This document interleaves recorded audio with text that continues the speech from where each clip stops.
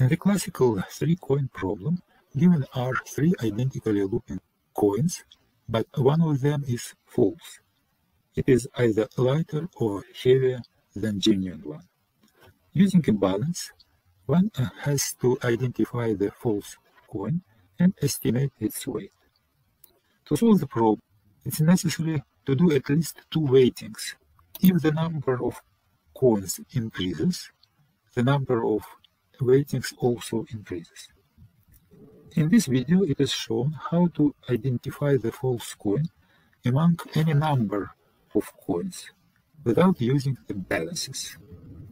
For the first side, it is absolutely impossible. But physics and logic will help. Let's go. First, uh, we formulate the problem. We have more than two coins on the frictionless table. Coins are identical in weight except one, which has different weight. In one step, find that coin and determine whether it is heavier or lighter than a genuine one. By doing this, uh, you don't need to use the balance. It's clear that we need something to compare the weight of the coin. And instead of balance, we will use for this purpose the feature of such a physical phenomenon as elastic collision. And uh, these features we will review right now. Let's suppose uh, we have two objects, in our case it's two coins, with masses m1 and m2. One of them is at rest, and we will call this coin as target. Another one moves toward target, and we will call this coin projectile. Projectile hits the target, and they move with velocities v1 final and v2 final. Uh, this velocity can be calculated using the equations which uh, you can find at any textbook on mechanics.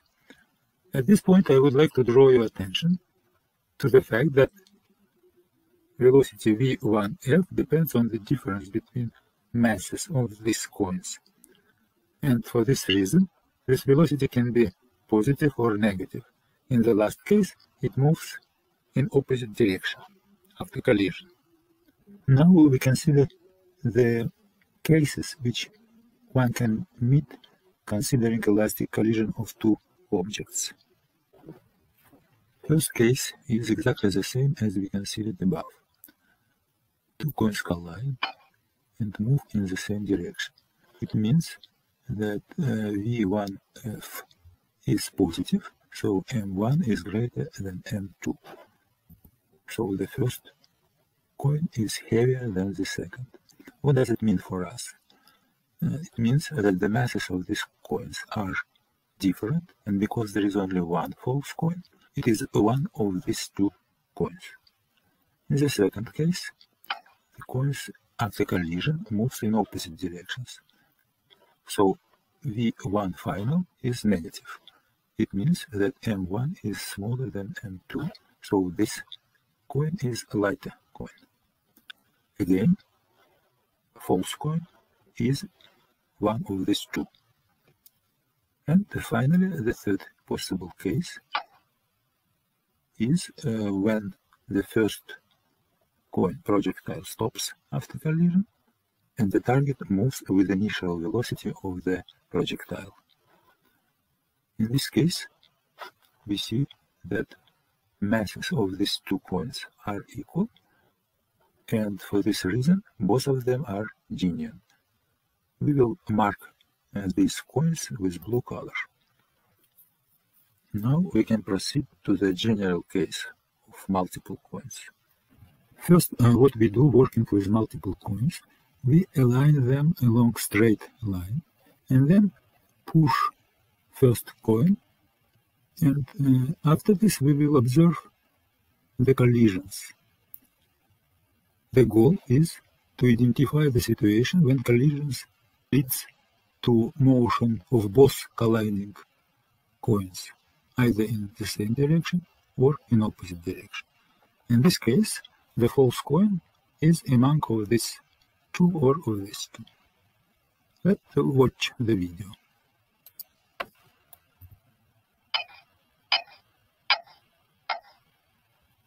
So we saw that uh, these two coins after collision were moving in opposite directions. So this case corresponds to the following situation. And the previous coins stopped because they were genuine coins. For this reason, actually, we don't need to consider all of them. We need, uh, in our analysis, restrict ourselves with the case when the uh, one of these situations appears after small number of collisions, maybe one or two. Let's illustrate this on the following examples. You watch carefully. We see here that these two points after collision move in opposite directions. So the second case takes place here and uh, the false coin is among them. All others are normal and uh, this coin is also normal because if you remember after collision it was moving in the same direction as the first coin. We can conclude that the false coin is this one and because the normal coin bounced back from the false coin, the false coin is more heavy than the normal. The next case is a little bit different from the previous. Let's watch. We see that these two coins after collision move in the same direction. So the false coin is among of them, all others are genuine. This coin is also genuine because here we have this case. From this picture we can conclude that this genuine coin is heavier than false, so the false coin is lighter than genuine coin. Let's consider the next case. We saw that after collision these two coins moved in the same direction, so the false coin is one of them. All others are genuine coins. Because this coin stopped, it is also a genuine one. And uh, applying this situation to our case, we see that the false coin is heavier than the genuine one. Next situation is a little bit different from previous.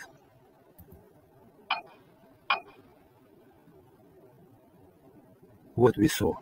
These two coins after collision moved in opposite directions, so the false coin is among them. All others are genuine coins, including the stopped coin. The false coin was rebound, so it is uh, this case, it, and it is lighter than the genuine one. In all previously considered cases, one of the colliding coins stopped. But this is not mandatory, and we will see this right now. What we saw, that these two coins moved after collision in opposite directions, and these two coins moved in the same direction. So the false coin is among these two coins and among these two coins. The only possibility is that this coin is a false one, and all others are genuine coins. The false coin is heavier than a genuine one according both to this consideration and this consideration. The next case is similar to previous. Let's watch. We saw that these two coins moved in the same direction after collision and these two in opposite directions. For this reason, the false coin is this one and all others are genuine coins. The false coin bounced from the genuine one, and for this reason it is lighter than a genuine one. Finally, uh, we considered opus close to the end of the chain of coins. But I believe uh, you can do this analysis yourself. And in the conclusion, we solve the problem of multiple coins in one step, so we are able to find false coin among a lot of genuine coins and determine whether it is heavier or lighter than a genuine coin.